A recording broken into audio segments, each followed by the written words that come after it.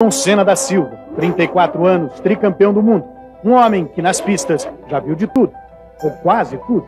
Hoje, Senna rodou em Interlagos como passageiro. E adivinha quem estava dirigindo? Justamente por isso todo mundo tem cinto atrás. Porque afinal de contas é o Dr. Ernesto que vai pilotar, né?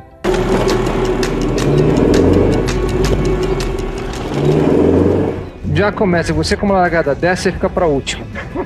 Começa por aí, de frente, de frente com o homem aí, aí fica complicado.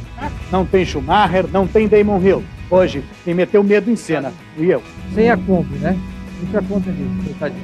Não tem nada a ver com você. Não tem culpa do seu talento todo. E vem pra freada do S de quem? Cera. Tá, tá, tá, tá, tá, tá. Ou então o S do Prost, né? Do Senna ou do Prost, né? Dependendo do ano passado. Agora vai, bem baixo, bem baixo. Todo acelerador, toda a potência. Sai aberto aqui. E aqui é o muro do Berger, que afastaram.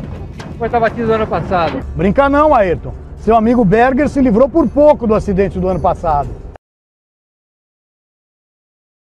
É, exatamente. Agora nós passamos reto. Ai, ai, ai. É, aí, olha, já ó, bandeira preta para você, tá bom? Desclassificado, tá bom? Ok.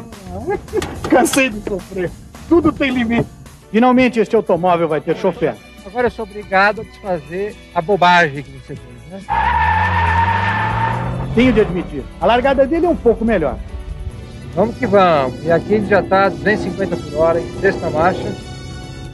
Coração a 300. Coração a mil por hora. Voltamos ao box.